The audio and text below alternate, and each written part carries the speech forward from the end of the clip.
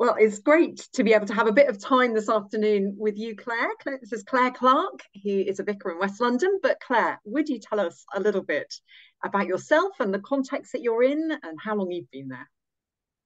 Yes, so I'm Claire Clarke. I have been here in Hounslow West, which is right next to Heathrow Airport, if you don't know where it is.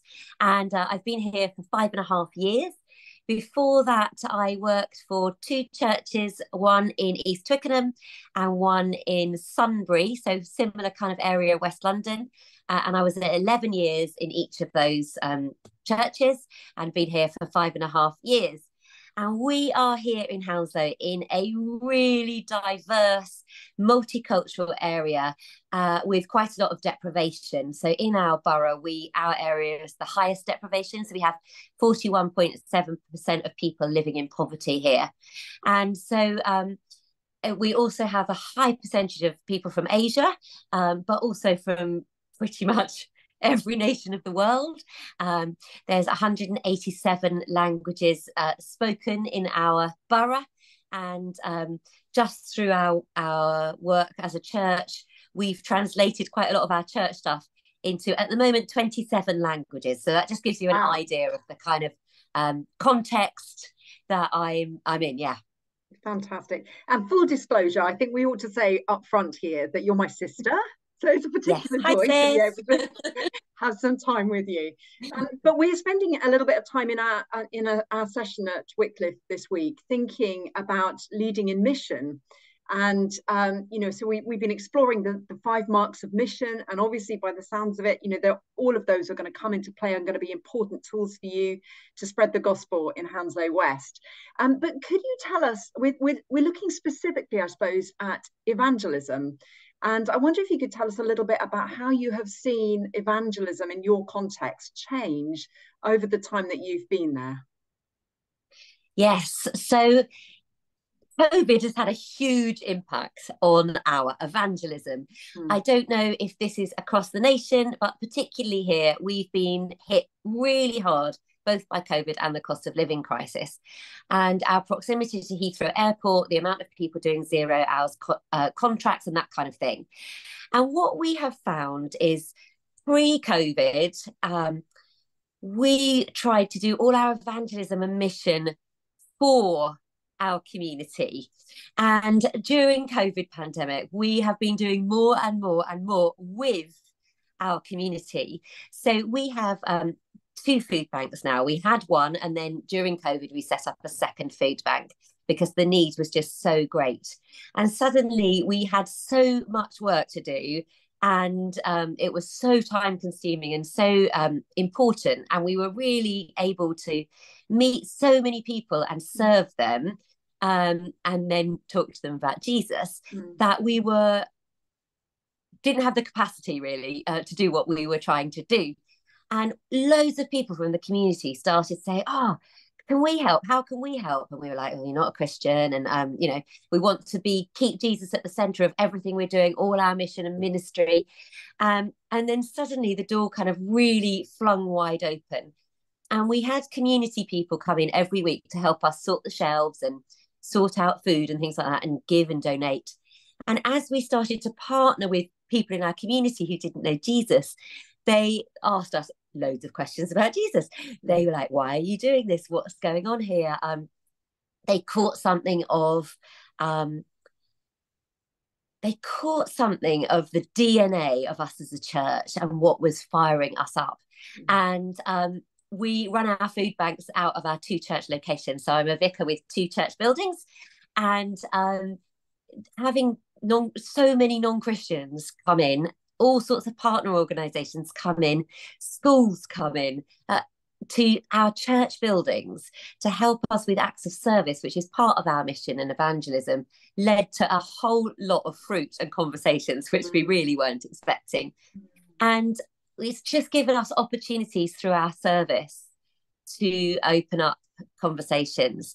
We have a large um, number of asylum seekers and refugees. Mm. And obviously there's all the politics surrounding that but having them come right here on our doorstep and we run a weekly um, it's called Hope Haven, and we gather together all asylum seekers and refugees from all sorts of countries. And I'd say 90% of them have been through trauma. And probably what we're seeing is 60% of them are coming from maybe Muslim backgrounds, uh, other faith backgrounds. And they are so open to the gospel wow. because of what they've been through, because of the fact that they can't even ask questions about other faiths in their countries. Mm. Um, there's a real sense of please tell us and almost on a weekly basis we have new refugees and asylum seekers coming in saying basically can you tell us about jesus so we're running farsi alpha at the moment as well as alpha in english and we're looking at ways to um, really share our faith with them and again we we were starting off how can we just tell them about jesus how can we tell them about jesus but they want to serve they want some purpose they're stuck in hotel rooms. They can't get out. They've some of them with their families. There's nothing to do. They're not allowed to work. They've got no purpose. Lots of them. We've had um, young men who are suicidal from Iran. We've had um, people just weeping and weeping. People who have been in this country for up to six months and still haven't been able to let their families know that they are safe. Mm. And just saying, "Can we pray to Jesus for you?" and and giving them things to do. So they help with that. We have a garden. So we do gardening, we grow crops for our food bank. And they've come and they've been digging the garden. They've um they're, they're doing some cleaning for us as a church. And you'd think, oh no, but they really want to find purpose. Mm. And this sharing of how can we share Jesus with you? How can we serve you and support you?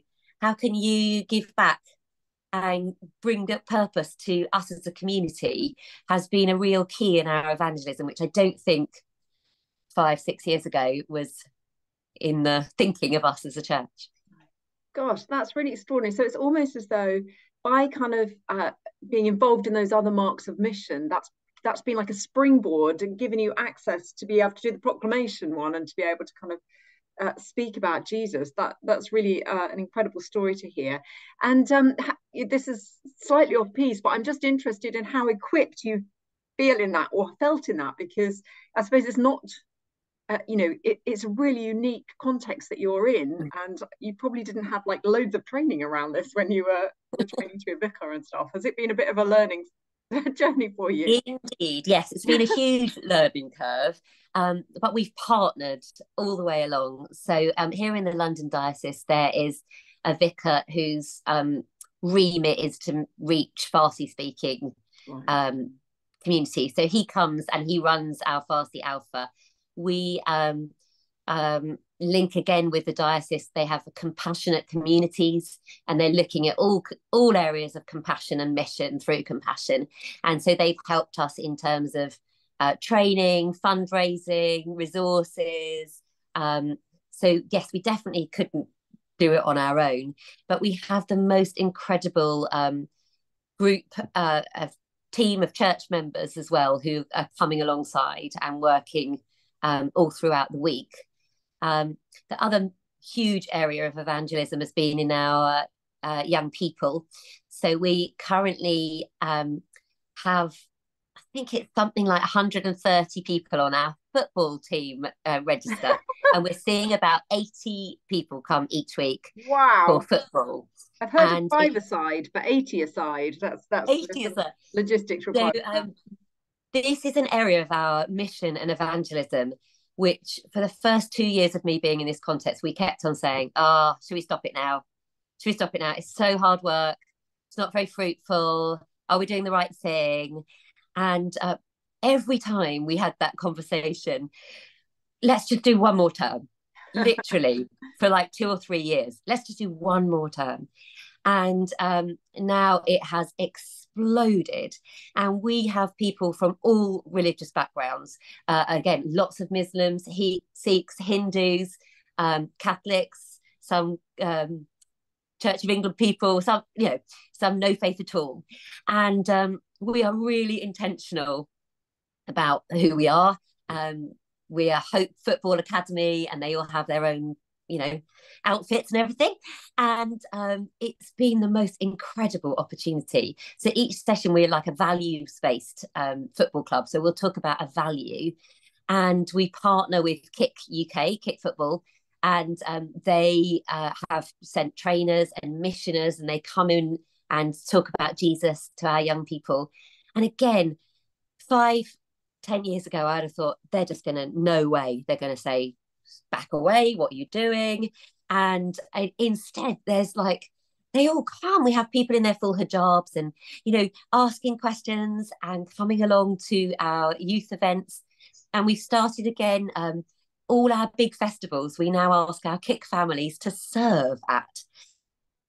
And it sounds odd, but they all come. At Christmas, we had um, two or three hundred people come and um, we gave away things to our food bank families. So gifts, toys for under 11s, um, some food, things like that, some treats. And our our kick families, our football families, mostly who do not know Jesus, came and they did a barbecue for everybody. And when they were there, we told everybody about Jesus. We celebrated Christmas. And again, I thought this shouldn't work. Mm-hmm. But somehow they're so open. And just um, last week, we had two young people from that group give their lives to Christ. What? And it, it, just blows my mind. How is this going on? Um, and I guess finally on that, um, the our work with the council. So when I first arrived here, I set up a meeting with um, the council, and they brought people from about nine different departments of the council. And I talked about our hearts, what we wanted to do, how we wanted to serve our community. And I was really, really bold, and I said, you know, our motivation is Jesus. We want to show people the love of Jesus. So that's what we're about. And I, and I recognize your motivation is different as a council, but a lot of the things we're wanting the same, we want to help people in some of the same ways. So I'm happy for us to work together, but I also totally understand if you don't want to partner with a faith based organization. And um, again, totally beyond what I expected. They were like, come on then, yeah, we can do this together. We don't mind that you um your motivation's is Jesus. That's fine. That's not our motivation. But and so we started doing all this stuff together. And every single time, um, like at the beginning of a session, um, we had about five council people and then about 12 of us from the church to run a session, whether it's food bank or debt help or back to work or whatever. And we say to everybody, right, we're going to pray now. And we all the council guys we say yeah come and join us if you want to pray. If you don't that's absolutely fine. And we go for it in prayer. And again i just think in the past people would have walked out thought what you're a lunatic or what is this all about? Uh, but half of the people from the council actually join us for prayer. And we're asking for the holy spirit to work and we're asking for mm-hmm. opportunities to share the love of jesus and they're like with us. And the other half sit on the side they're quiet they really respect it even though they've no idea. And that has led to um, a funny kind of evangelism in that the council are our biggest promoters mm. in our area yeah. so when somebody's in need and they go to the council about so many different things the council will say have you heard about hope church hounslow why don't you pop down there they'd be able to help you and again, I never would have seen that in mission and evangelism as a strategy. Um, but and I don't even know oh. if it is a strategy, but it seems to be something where we've known the favour of the Lord during this yeah. season. That is that's so exciting. I, I think it's just so wise to just to be kind of bold and upfront about who you are and where, what you're there for, because then yeah. you're naming the elephant in the room, aren't you? And you can just kind of get beyond that then, and you know it, it's every, everything's clear. Oh, that's yeah. brilliant. So, um, just a final question for you, really, about um, how how do you seek to encourage your whole congregation to keep a missional focus? Um, we are in a situation of being a church plant. So, um, the the church was closed for two years, back 2010 to 2012. And during that time, a mosque actually tried to buy the church. And um, that's when the Church of England said, come on, let's plant. So a team came in. So we don't have this is how it was done 30, 40, 60 yeah. years ago. Uh, and mission has been at the heart from the beginning. So mission and service are in the DNA. Yeah. Um, so from that point of view, I know I have it a lot easier than some other people in their context. Uh, and we've just been really intentional about keeping it at the forefront. Um, there's a lot of um, change here. It's fast moving. Um, things like the asylum seekers and refugees will work with the group for six months and then they'll all be moved and we'll have another group. And um, so it's a very fast moving context. And so to keep mission right at the forefront and to tell stories. So we're always telling stories. You know, yeah. last year we as a church we fed 11,087 people. Wow, we did that as a church, and everybody thinks, yeah. And then you know, we're the largest kick academy. And how exciting is that? We were going to close it so many times, weren't we? And now look what God is doing through that. So I guess storytelling is a huge way. So we try to celebrate often what God is doing. Mm. Um, and testimony from people who've come to Christ. Um, and we have a a little checklist. So every single time we talk about um, what's coming up, what we want to do new, um, we're like, is it Jesus centered? So we don't want to be in social services. We don't want to be in mission childcare. We want to do Jesus focused, Jesus centered ministry and then um, how will this be taken by our community so um, things like putting stuff into different languages um, we've got coming up our ugandan takeover service and then we've got our asia takeover service when all the people from that area they take the service they wear their dress so we kind of celebrate who we are in our context and how we do mission that will look very different in another context yeah. but um, I think that helps keep the energy, the vision, the vitality of people wanting to be involved in mission. Oh, that is just so exciting. I, I know I said that's a final question, but I, there's just one more thing that I'd love to ask you about.